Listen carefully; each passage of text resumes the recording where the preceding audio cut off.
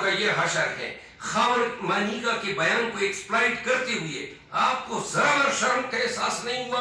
आपके घर में भी जो है, माए, बहने, बेटियाँ हैं, और ऐसा भी तो हो सकता है ना, आप क्यों उस वक्त से नहीं डर रहे हैं? जब जुनेद सफदर की अहलिया को जो है कभी कोई मीडिया पे लाएगा और बताएगा कि क्या वो अवामिल थे जो तलाक पे मंथज हुए? और मीडिया जो है, क्यों कर क्यों कर? सारी मीडिया एक ही बाहों में जा रहा है। कोई इनके पीछे क्यों नहीं जाता है? इनके मुतलकों को क्यों नहीं लाता है? उनकी क्यों स्टोरिया नहीं बताता है? ये क्यों ऐसा हो रहा है कि जब कोई हुकूमत से उतर जाता है तो पूरा निज़ाम दूसरी साइड पे हो जाता है। अदालतें, मीडिया, तमाम सरकारी इदारे। तो लिहाजा मेरी गुजारिश है दस बस्ता अर्ज़ सिर्फ़ उन साफियों से जो इंटरव्यू कराते फिर रहे हैं। कि बेहतर है कि फिर अपने लिए कोई दूसरा शोबा मुंतखब कर लो। ये सहाफत एक बावकार पेशा है। और अगर आप ऐसा करेंगे तो हम आपको साफी ट्रीट नहीं करेंगे। हम आपको, आपकी इस हैसियत को, जो आप खुद मुतनाज़ा बना रहे हैं, फिर आप उस एहतराम, उस प्रोटेक्शन, उस डिग्निटी और उस रिस्पेक्ट के जो है अकदार नहीं है, जो हम सहाफत से वाबस्ता हजरात को देते हैं।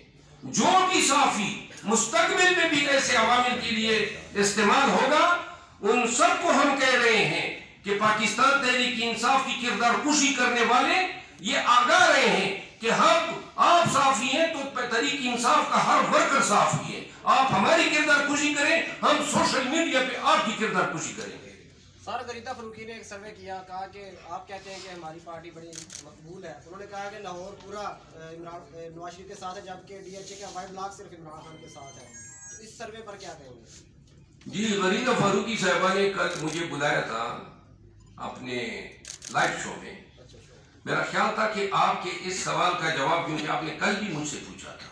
कल आपने कहा था उधर जाके उधर जाके दूँगा लेकिन कल जो है अचानक पता चला कि शायद कल ही मेरे खिलाफ कोई अहकाम जारी हुए हैं कि इसको ब्लैकलिस्ट करें मीडिया से।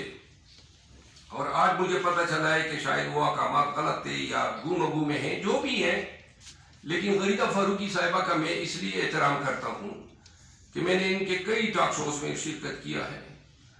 इसने कभी भी मेरे सामने किसी भी टॉक शो में फरीक बन के बेशक चाहे इसने कमेंट किए हैं, तनकीद की हैं अगर ये सर्वे इन्होंने दिया है, जिसका इम्कान कम है, और अगर दिया है तो लाजिमन में उससे ज़रूर पूछता कि ये पूरे लाहौर के लोगों से गुफ्तु हुई या पाँच छह जो है पटवारियों को कड़ा करके उनका इंटरव्यू लिया? खान की बेगम की तस्वीरें वायरल कर रहे हैं। जैसे आपने कहा कि हमारा हर कारकुन साथी है, हम उनको पगड़ियाँ उछालेंगे तो खान ज़्यादा की बीवी की तस्वीरें जो है वो सोशल मीडिया पर फैलाई जा रही है। देखिए, मैं इस हद तक तो मैं नहीं जाना चाहता हूँ कि हम किसी किसी भी शख्स की बीवियों की तस्वीरें वायरल करें।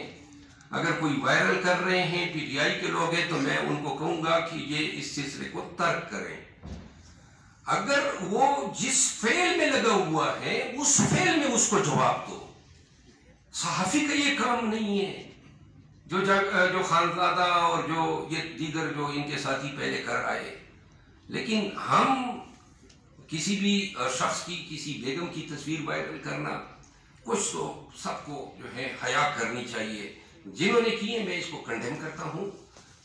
अलबत्ता माफ़ी जो है तलाफी की कोई अब सूरत नहीं है। जो हमारे खान उनकी अहलिया की जो है वो तवीन करेगा। तो तवीन उनका भी मुकदर बनेगी। बिला कम कास, बिला खौफ खतर, सब सुन ले। जो हमारे वर्कर लीडर की इंटरव्यू करके हमारी बीबी साहिबा, हमारे मुर्शिद, इनके खिलाफ इस तरह की हरकत सकनात करेगा तो ये कुली जंग है। ये कुल्ली जंग है और सबको इजाज़त है पाकिस्तान तहरीक इंसाफ के तमाम सोशल मीडिया के एक्टिविस्ट को और तमाम वर्कर्स को। कि हशर नशर खराब करें ऐसे साफियों का, लेकिन न गाली हो, न गालन गलोच हो, न उनकी किसी बच्चों की अहलियत की तस्वीर हो अलबत् उनकी सहाफती बदयांती को आप बेशक लोगों को भी बताएँ और कौम को भी बताएँ कि ये बदयानत लोग हैं, ये सहाफत के अमीन नहीं रहे हैं, ये हरकारे और दलाल बन चुके हैं। शेर अफजल बरवत साहब, ये बताइएगा कि इस वक्त आपके पीछे कौन सी वो बड़ी ताकत है जो आपको नहीं रोक पा रही है? पीटीआई का एक भी बंदा ना झंडा उठा सकता है, ना टोपी पहन सकता है, ना नारा लगा सकता है। आप धड़ाधड़ पीटीआई में लोगों को शमूलियत करवा रहे हैं। वो ताकत का राज क्या है इस वक्त आपके पास? देखिए, मैं आपको साफ़ सा बता दूँ, किसी एक वकील पे इतने पर्चे नहीं हुए हैं, बल्कि किसी वकील पे हुए ही नहीं है। खादिम को ये एजाज हासिल हुआ है। आठ हुए हैं और अभी पता चला है, आज के चार कहीं और भी दर्ज हुए हैं तो बारह तक तादाद पहुँच गई है। मैं फिर कहूँगा मुना भाई लगे रहो। बारह को बारह सौ बना दो। जूती के नोक पे नहीं रखते इन पर्चों को। नंबर वन अब ताकत भी बता देता हूँ कि क्या ताकत है। आपको इलम में आप मेरे साथ गए, मेरे घर को, मेरे फार्म हाउस को इन्होंने गिराया।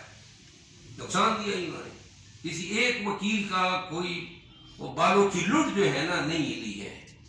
इन्होंने मुझे अगवा करने की कोशिश की वो वीडियो मौजूद है। इन्होंने मुझे, मुझे हर तरफ़ से मैंने ये कह दिया है कि ज़िंदा हूँ तो ये मैं करता रहूँगा।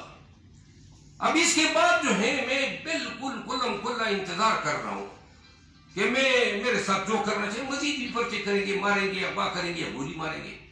तो लिहाजा मेरी हिम्मत मेरी ताकत है। मेरा हौसला मेरी ताकत है। और मैं हिम्मत और हौसले की दाएँ बाएँ नहीं देखता हूँ कि कोई मुझे हौसला देगा। अपने तई मैंने बेड़ा उठाया हुआ है और उस बेड़े को देखिए चरसद में मैं गया, एक जगह पे थाले लगाए। आपको इलम है? दूसरी जगह पे गया, वहाँ पे उन्होंने कुर्सियाँ उठा दी। तो तीसरी जगह मैं डट गया। हज़ारों की तादाद में मेरे साथ वर्कर थे तो फिर उनकी हिम्मत नहीं हुई। अब हमने कोर्ट से इजाज़त ले लिए आपको इलम होना चाहिए कि अदालत से मजबूर होके अब वो डिप्टी कमिश्नर हमें इजाज़त भी दे रहे हैं। और ये आज की बात तो नहीं है कि मैं बोल रहा हूँ।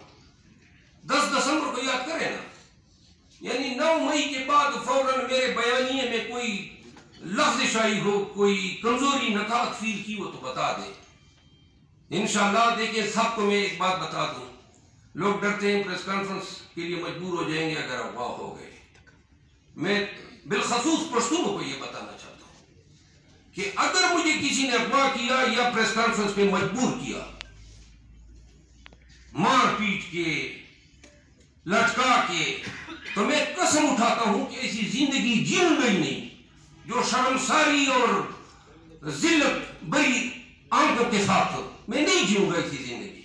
और ना हमें ऐसी ज़िंदगी की ज़रूरत है, जहाँ पे प्रेस कॉन्फ्रेंस कर ले, खान की गैबत कर ले और फिर इन आवाम में फिरे। तो लिहाजा सबको इलम होना चाहिए। आप हमें अफवाह नहीं करेंगे आप हमसे हमारी ज़िंदगी छीनेंगे सर सवाल ये है कि जरा इमरान खान के केस के बारे में बात की जाए तो साइबर केस में आप खुशी मना रहे हैं इस्लामाबाद के फैसले पर इस्लामाबाद हाईकोर्ट के फैसले पर। तो क्या तो शफाना केस और एक सौ नब्बे मिलियन पाउंड के जो केस है उसमें भी क्या इमरान खान को कुछ रिलीफ मिल सकता है और रिहाई मुमकिन हो सकती है? दूसरा सवाल ये है कि आपकी मुलाकात में खान साहब ने खबर बनाए गए तो जो इंटरव्यू था उस पर क्या रद्दमल दे रहे थे? बहुत गुस्सा थे। वो कहते हैं कि अखलाकियात जो हैं किस किस मैार और किस हद तक गिर चुकी है। वो बता रहे थे ना क्या पाकिस्तान में इस तरह होता था। इसी खबर मनी का कुछ महीने पहले का बयान देख लें। अब करप्शन में पकड़ा। दो महीने बाद टीवी पे एक एंकर के ज़रिए लाके दूसरा बयानिया दिलवा दिया मैं पता था। आप देख लें, मेरी